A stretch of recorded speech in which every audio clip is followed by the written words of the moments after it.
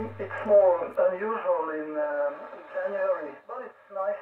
Yes, I've also made many many contacts into uh, Germany, uh, Netherlands, and uh, the, the United Kingdom, of course.